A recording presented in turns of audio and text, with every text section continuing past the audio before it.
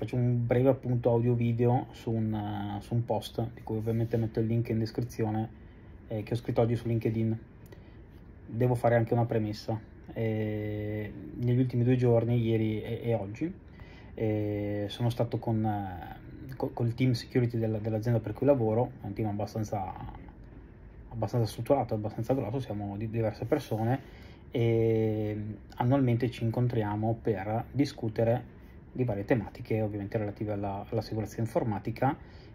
e parlando con i colleghi mi, mi, è tornato ovviamente alla mente il pensiero della, della tematica della, della, formazione perché sono tutte persone molto formate, molto competenti che vengono da ambiti diversi e che hanno un certo tipo di hanno fatto un certo tipo di path per, per arrivare alla, alle competenze che hanno, che hanno, oggi in vari settori. Eh, sempre nel mondo info security, ma in tantissime nelle sue varie ramificazioni, non fanno tutti la stessa cosa. Ognuno ha il suo path, ognuno ha la sua specializzazione. Una cosa che mi stupiva, che mi, stupiva, che mi faceva riflettere e che trovo interessante è che tutti eh, hanno sviluppato del, delle, delle skill di base tecniche molto molto profonde e su quelle hanno poi costruito una competenza in ambito sicurezza informatica. Ad esempio, chi lavora in ambito eh, eh, firewalling, eh, quindi il contesto network security, ha profonde competenze di networking. Eh, chi lavora anche in ambito mh, offensivo e prende magari una specifica, ha preso una specifica strada, io ad esempio lavoro proprio nella parte infrastrutturale, ha competenze nel mondo eh, sistemi, server, applicazioni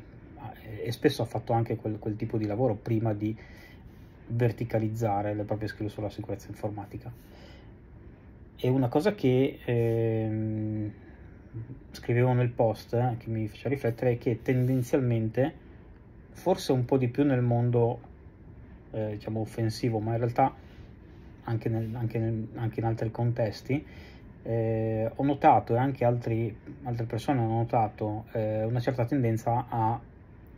in qualche modo saltare del, delle tappe e arrivare subito alla competenza, cercare di crearsi su, da subito una competenza verticale sulla parte security senza conoscere lo strato sottostante.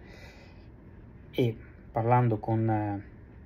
non solo con i miei colleghi ma anche con, eh, con, eh, con ad esempio le persone che sono, nel, che sono, attive sul gruppo Telegram o su Discord, ma anche durante alcune live questa cosa era venuta fuori, eh, molte opinioni, quindi io nel post riporto delle opinioni con cui concordo ovviamente, e molte di queste opinioni andavano a parlare su un, questo tema, sarebbe opportuno prima farsi del, delle skill di base, non necessariamente approfondite,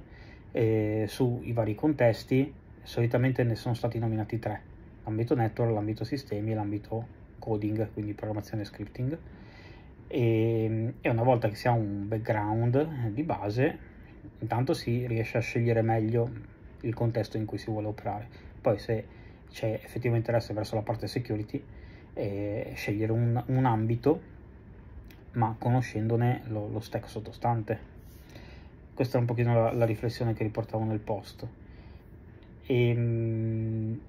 immaginavo che diciamo, l'opinione facesse in qualche modo generasse qualche reazione. E effettivamente ci sono stati c'è stato qualche commento sotto quindi approfitto della, de, di, questo, di, questa sessione in, in vlog per anticipare che stasera no, ma mm, domani o dopodomani eh, faccio una, un, mi, mi, ricavo un, uno spazietto live per fare una cosa che è un po' di mesi che, che volevo fare, cioè partendo dal post ci leggiamo i commenti delle, delle persone che hanno, che hanno commentato e discutiamo sui commenti perché sono tutti interessanti dal, dal mio punto di vista, tutte le, tutte, tu, tutti quelli che hanno commentato hanno detto qualcosa che in qualche misura è condivisibile o può far riflettere ulteriormente, quindi ce li prendiamo uno a uno, in questo momento sono una decina e, e discutiamo magari su quelli, una, una, facciamo una breve sessione. E poi ovviamente chi ha voglia di dire la sua, ben venga, lascio appunto il post in, in descrizione. Basta poi vi aggiorno invece sulle cose che ho fatto negli ultimi due giorni, un, un altro momento, in questa, in questa due giorni di full immersion sulla parte security che è stata molto interessante e divertente. Bye.